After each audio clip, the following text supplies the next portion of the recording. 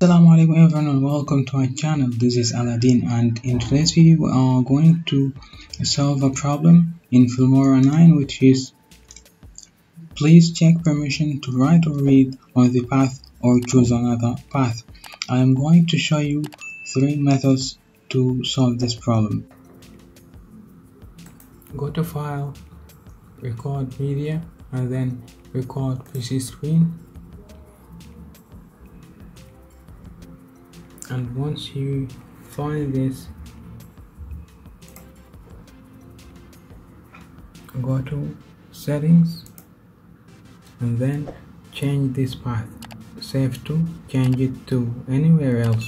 I think this is the reason uh, the reason for this problem is uh, you are installing the application uh, on C or some or D maybe and you are saving the files somewhere else.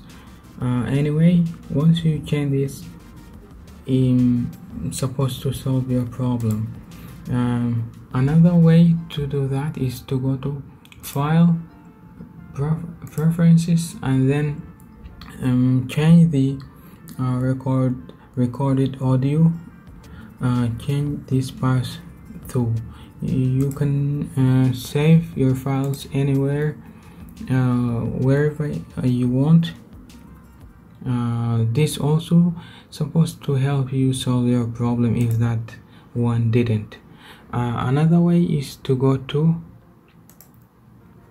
uh, PC and then D go to properties and then security system advanced and then system uh, change permissions and then system edit and make it full control. This is the third method and it's supposed to help you solve the problem.